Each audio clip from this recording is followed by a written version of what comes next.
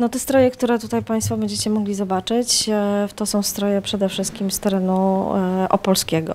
I są i zarówno chusty, i są suknie, i są e, w jakle, jak to mówią, pięknie zdobione, ale pochodzące właśnie z naszego regionu. Prudnik, Opole, na przykład te chusty piękne, które się znajdują z tyłu za mną, no to są bezpośrednio z Opola. A wszystkie te rzeczy zostały, czy były gromadzone przez pana Tomasza Czarnego, to są jego zbiory.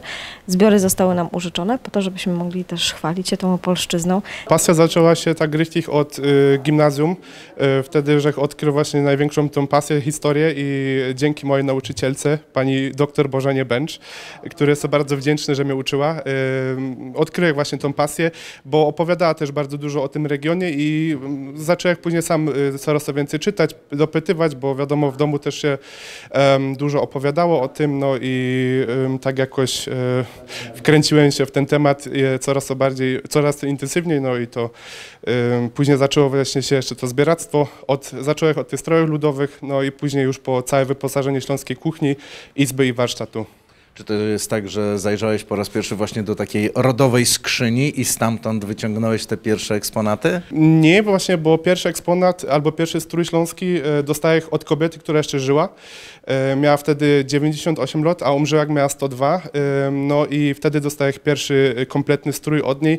No i tak zacząłem szukać właśnie, pytać kolegów u mnie we wsi, bo mniej więcej wiedziałem, kiedy te kobiety mieszkały albo w sąsiedztwie, kiedy były, bo mówiło się, że chodzą po chłopsku właśnie, no i to zacząłem pytać, y, no i oczywiście jeszcze tam później jak znalazł y, różnych y, handlarzy, co handlowali tymi strojami, część była podarowana, część była zakupiona, no i tak od lat już szukam właśnie. Każdy z fragmentów tego stroju ma tak naprawdę swoją też i śląską nazwę. Tak, tutaj specjalnie umieściliśmy takie karteczki e, poprzepinane do strojów. E, na tych karteczkach znajdują się informacje, żeby wszyscy zwiedzający goście mogli sobie poczytać, jak te stroje się e, nazywały.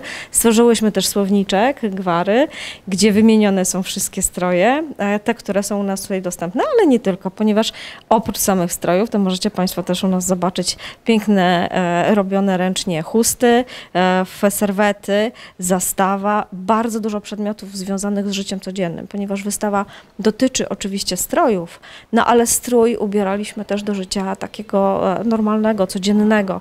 E, więc nie tylko wyjściowe, ale też, też po domu. I część z tych sprzętów właśnie tutaj możemy też zobaczyć. One są malowane, oryginalne przede wszystkim. Mam właśnie stroje z różnych zakątków Górnego Śląska, tak mniej więcej od Opola do Katowic. Też tutaj kompletny strój z mojej wioski, z której pochodzę, strój ślubny śląski, różne chusty bardzo rzadkie, na przykład tutaj mamy e, też szpigle, które były statusem ślązaczki, były bardzo drogie w zakupie już wtedy, haftowane rzeczy, bielizna, Bakiera jest bardzo rzadko. Ten Stroje Śląski jeszcze dostać dzisiaj, bo to wiadomo są wiekowe rzeczy. Część także to część zdjęciowa, którą udało Ci się też zgromadzić. E, bo to są jedne z tych najstarszych, no i tam właśnie widać bezpośrednio już ten Strój Śląski, te kobiety, które chodziły właśnie w tych strojach i codziennych i w tych odświętnych. Ubrałbyś się w taki odświętny strój dzisiaj, jak te historyczne, które tutaj masz? Wiadomo, bym musiał mieć męski strój. Męski strój śląski już został wyparty u nas w regionie tutaj e, na początku XX wieku bo wtedy były modne ancugi i wtedy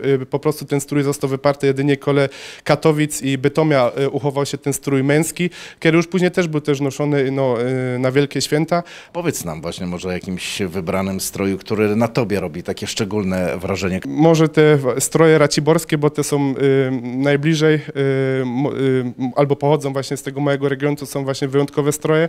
Wyszywane te jakle właśnie, czyli te górne części tego stroju, ten kaftan był przyozdabiany właśnie y, kwiatami albo y, naszyciami w formie kwiatowej, kolorowe właśnie fartuchy. Cóż to jeszcze ta kobieta miała tam ubranego na sobie? A kobieta miała y, dużo rzeczy, bo wiadomo, to co my widzimy to tylko jest właśnie ta jakla, ta mazelonka, czyli spódnica, te fortuchy właśnie kolorowe, no a wiadomo pod spodem jeszcze była bielizna, unteroki, czyli te halki. W zależności od postury kobiety y, były też zależność, zależne właśnie potem y, te halki, bo nosiła od dwóch do dziesięciu nawet pod spodem albo do ośmiu, bo kształt kobiety był wtedy właśnie w tak w, bardziej w kształcie dzwona, y, góra była węższa, dół y, szerszy. No i jeszcze, no wiadomo, majtki się nosiło, te pantelony. Była jeszcze noszona taka y, kiełbaśnica albo wóżd, jak to się go dało na to. To był taki wałek wypychany watą albo materiałem, żeby po prostu jeszcze poszerzyć tą posturę i tam były zakładane właśnie te unteroki, czyli te halki i później ta kiecka właściwa i fartuch na to jeszcze. A jeśli chodzi o mężczyznę? A mężczyzna właśnie, y, to taki typowy strój śląski to są właśnie y, te y, spodnie, kiedyś były skórzane, z bardziej tak w żółty podchodziły, czyli jelenioki były, się nazywały. Później już były szyte z materiału, do tego buty oficerki, wiadomo biała koszula, no i na to była nakładana jeszcze taka westa, czyli kamizelka i później jeszcze była na to marynarka. To był taki bardziej jednolity ten strój właśnie męski, a te kobiece już się różniły bardziej od regionu do regionu.